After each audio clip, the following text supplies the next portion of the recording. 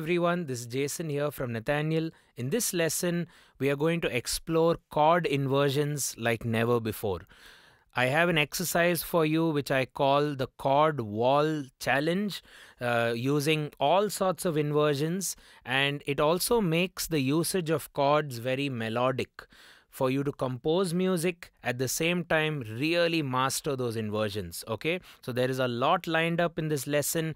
You have to stay till the very end. There's a lot which is going to be covered uh, starting well pretty much now. But before that make sure you subscribe to our channel if you haven't already. Consider hitting that bell icon for notifications because we are going to do quite a few more lessons in the coming days months and possibly years. So hit that bell. And uh, all of these lessons especially this one you may want to consider uh, heading over to our Patreon and downloading yourself a copy of my handwritten notes, where I'm going to draw what I call as chord trees, which will give you a very nice perspective on what chord goes with each melody and vice versa. Let's get cracking. So, what I played you in the intro video or in the intro performance was basically the note C and all the chords which go with C okay? So just to to tell you on that front you take c what is a chord which has c in it? And in this entire lesson i'm going to take the chords we use fairly often or almost all the time rather the major and the minor chords right? Major minor. Major is 1 3 5 major third in the middle. Minor is 1 3 flat 5 minor third in the middle. So the question now we need to first ask before we start the exercise would be what are all the chords which have C in them? Well, the answer to that question is a huge number if you take seventh chords, extensions, nines, sharp 11s, and so on and so forth. But if we just limit our study to only the major and the minor triads, which are three note chords, you'll possibly find that the answer is not too big an answer. It's just six chords. Why six, you may argue, because it's just the logic behind music, if you think about it. A chord has three notes. So, inevitably, you ask yourself the question C will be the root or the first note of which major chord and which minor chord. Then you ask yourself the question C will be the fifth of which major chord and which minor chord because uh, a major chord and a minor chord have the root and the fifth, the perfect fifth. So there we have it. You get four chords right there, right? So you say C is the root of which major chord and which minor chord. I'm sure you're you'll agree with me that the answer is rather simple. It's C major and C minor because the name of the chord itself will be the root, right? So C, the note C or the melody note C will be present in which two chords? C major and C minor. Okay, then we ask ourselves the question C will be the fifth or the perfect fifth of which particular chord or which root. The circle of fifths can be very helpful in that regard. So, or you just know your fifths really well. So, C will be the fifth of what? F, right? If you take five diatonic steps from F, you get to that C. So you could build yourself an F major chord which has C at the top end, or you could build yourself an F minor chord which will still have the C at the top end. So, so far we have C major, C minor, F major, which has that C as the fifth, F minor, which again has that C at the fifth. Okay, so the first four chords I think were quite easy. You ask yourself C is the root of C major, C minor, C is the fifth of F major, F minor. Now you ask yourself what what is the remaining note of a triad? We've covered the root, we've covered the fifth. The remaining note will be the third. So for a major chord, the third will be a major third, which is that's how a third sounds, a major third. And the minor chord will have a minor third, which is E flat with respect to C. So now you kind of reverse engineer the question and ask yourself C is the major third of what musical note? I repeat the question again. C is the major third of what note? The answer will actually be A flat, right? So if you take the A flat chord or the A flat major scale, Sa re ga, C will be the ga of A flat or the third of A flat. So A flat major will house the melody note C. There we have it. So C exists in the A flat major triad or chord. And then we ask ourselves the next question, or uh, in this case, in this lesson, the final question, where C is the minor third of what chord? The answer will then be A minor. So in the A minor chord, C exists as the minor third. So these are the six chords you're going to get, which are both major as well as minor, which contain the note C. You'll get C major, which has C as the root. You have C minor, which has C again as the root. Then you have F major, which has C at the top uh, or at the fifth. F minor, which has C again at the top or the fifth. Then you have A flat major with C as the major third, A minor with C as the minor third, right? So, to make this a very exciting inversion challenge for yourselves, you could take C first and place it with your thumb in the lowest position of the chord or the lowest voice of the chord. And now just try to move through all the other chords either in random order. Well the order honestly can be random because it'll all sound musically exciting. Every order of or grouping of chords will sound really cool. So i'm just going to have all those six chords presented in front now on the screen and you can just see what i'm playing okay so i'm going to do c major with C in the low low position or the bass position. Now I want to do A flat major next, but I want to keep C with the same finger with my thumb. Okay, using inversion. So what do I do? So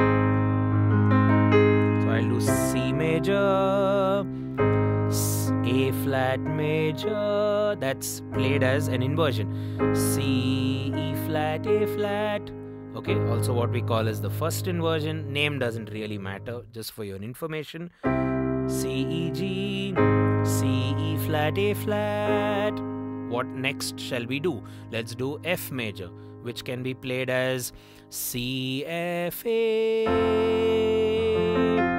Okay maybe let's go to an A minor. C E inversions you see the C is still here maybe let's now go to mm, F minor. F minor, C, F, A flat. Maybe end with a C minor, C, E flat, G. So you have all these chords, right? Keeping C at this at the lowest position. Eh, this will be your exercise one. C major, C minor, A flat major, A minor, F major, F minor, and back to C. So you have six chords, major and minor chords, which have the note C in them. Now, what you could do with your left hand could be the same thing as your right hand, really. If you're playing melodically.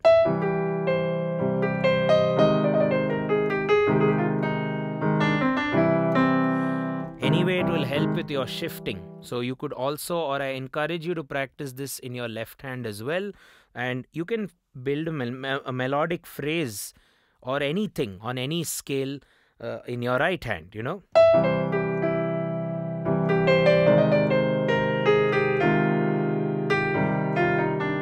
Minor, C minor, my F minor.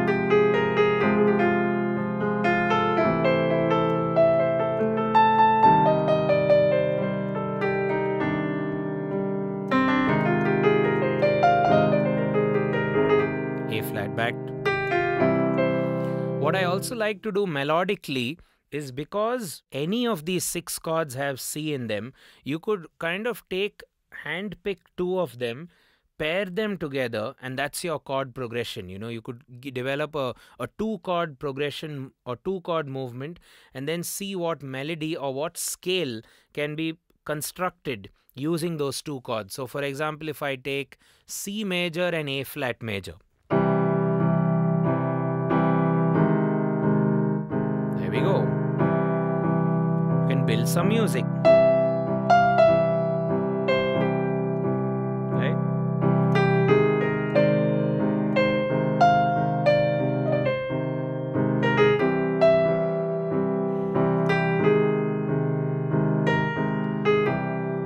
or maybe C major with F minor.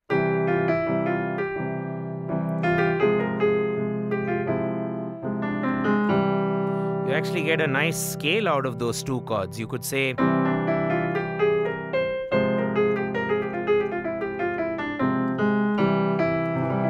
one of my favorite scales it's what we call as the mixolydian flat 6 scale for your information.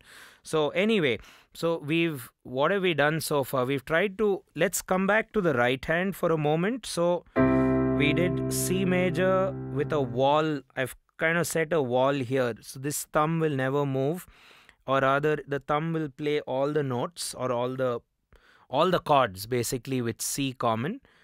C a flat a minor f f minor c minor. And then you could do the other way around you could say c will now be at the top end at the top end of all the chords right? So c major e g c. Now you ask yourself how do i play a flat major keeping c at the top? There we have it a flat major.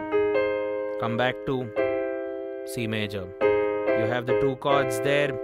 F major f minor. What else do we have? Mm, C minor and A minor. So exercise 1 was with C in the bottom position always. Exercise 2 now is with C in the top position always, right? And what will be exercise 3? I'm, I guess you are guessing it right now. C will be in the central position. So that's in the middle. You go C major, C minor, F minor, F major, A minor, A flat major. So you've created the wall or the consistent finger or the consistent note C in the middle. So exercise 1 was C is at the low position. You play all your chords. Then C is at the high position.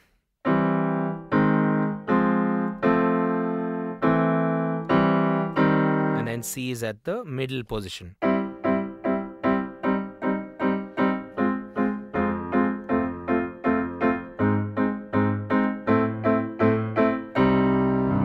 Going to get really tight with your inversions and in a very musical way as well. Because if you think about it when you're composing a piece of music like let's say right a song like that when the singer is ending uh, you know this is the end. When she ends there at c you're playing three chords which complement it right right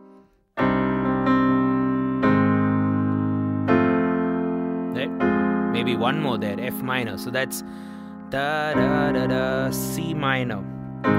A flat major f major. Very james bond like and then f minor. Da da da da da c minor, A flat major. So all of that is working with the melody C, which Adele is singing at that particular point, right? So it becomes a very musical exercise at the same time like a really really rock solid way to master your inversion. So i hope you can really try this out practice it hard and use it in your music as best as you can right? So with all of what we saw so far in this lesson we've looked at it on the key or the note c.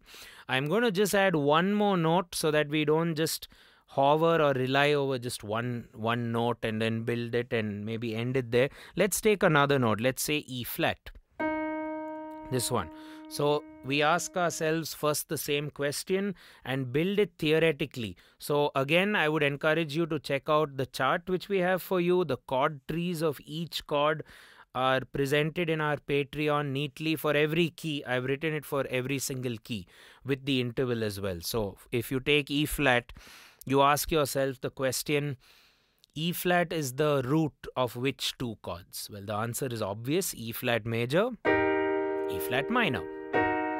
Then we ask ourselves the question E flat is the fifth of which chord? Circle of fifths or whichever technology you have to help you with, you'll realize A flat's fifth is E flat. So you could do A flat major or you could do A flat minor with E flat up there. So you have E flat major, E flat minor, A flat major, A flat minor then we ask ourselves the next very interesting question E flat will be the major third of who? The answer will be B major. Now, this is where you have to do an enharmonic shift. What I mean by that is B major chord, generally, when we narrate it to each other, we say B, D sharp, F sharp. But here, you have an E flat, so you may get confused. So please remember, E flat is nothing but D sharp in disguise or something. So if you take B, it'll be B, D sharp, F sharp, which is still that pivotal that note, E flat. So you'll have B major, then we ask ourselves the question E flat is the third note of minor third of which chord? The answer will be C minor. Okay, so we have E flat major, mm, E flat minor, E flat major, mm, A flat minor, maybe B major, B major, minor. It also makes for very interesting thematic music. You can do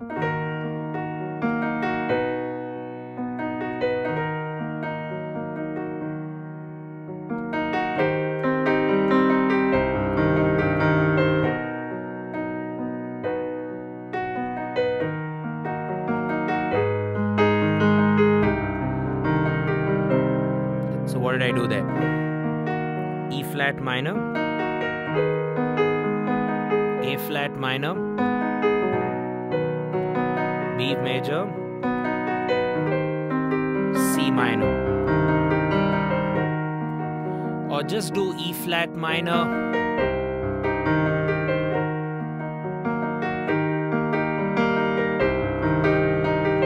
Or major So I'm trying my best to not change that targeted melody note, but you can eventually. But initially, practice it like an exercise. So you're seeing how creative this can get. Uh, if you're a keyboard player, if you have like a digital piano or a keyboard with a string dual voicing, you could probably hit that on and it'll sound really rich. It'll sound like you know you're playing playing an orchestra. You could layer it with your piano. It's always a lot more fun in in my experience. Right so we've looked at all the chord options with respect to e flat. As always you create a exercise for yourself or three exercises for yourself. First keeping e flat in the left side or the low side. A flat major with e flat in the bottom B major with B flat in the bottom, C minor with E flat in the bottom. Then you do the same thing with the top. Minor, A flat minor, A flat major, B major, C minor. See, E flat was up there. Now, where shall we put E flat? The only other position left is in the middle. So, major, pa dee dee do do, minor, pa E flat minor, then A flat major button, A flat minor, A flat, okay, then a C minor, lastly B major, dee would always encourage you to either sing something, try to weave a melody, you know, pick any two chords and see how they can work together melodically. Eventually, you need to make some music out of the exercise. It starts as, yes, a hard working exercise, but I'm quite certain that it can evolve into a lot of interesting ideas, which I hope you can create. Right? And uh, do the exercise. As always i'm available on instagram. Uh, i'll be happy to hear from you. That's the best medium for students to share their work with me at the moment. So you can share it and i will reshare it as they call it. So uh, feel free to do so. And uh, don't forget to download or get yourself a copy of the notes on patreon which will not only give you the notes of this one it will give you the previous notes as well as the new notes as well. And and uh, if you'd like to learn from me in person or virtually in person uh, at the moment you can always fill up the form in the description. We'll have a batch coming up. And uh, not only me you can learn from our guitar faculty the vocal faculty because ultimately we are working in the nathaniel school of music which has a lot of offerings for different skill levels. All the way from the beginners you could do our foundation course to the the very advanced of the lot who want to get into composing and production and stuff like that. Right guys? Thanks a ton for watching the lesson. I will see you in the next one